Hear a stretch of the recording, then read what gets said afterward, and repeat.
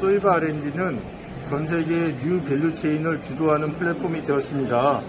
대한민국의 국가적인 차원에서 new value chain은 글로벌 ESG 경영의 아주 핵심적인 부분으로서 글로벌 융복합의 핵심적인 부분인 개인정보 보호를 할 수 있는 솔루션입니다.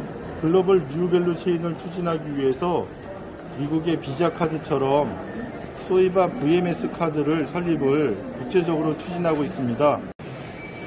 소이바 R&D 회사의 비전은 현존하는 인터넷이 원격 의료, 원격 교육, 전자상 거래 이렇게 따로따로의 서비스였다면 스마트 시티의 전 세계 서비스를 융복합하여 가지고 한 사람에게 맞춤형 서비스를 제공하는 그런 소이바 VMS 카드 서비스를 제공하는 것입니다.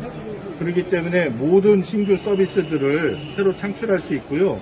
모든 개인들은 특허권자, 생산자, 중개자, 판매자, 구매자, 이용자, 최종 소비자, 소이바 smart city 카드를 갖게 되면 전 세계의 모든 smart city의 서비스를 마음껏 받을 수가 있습니다.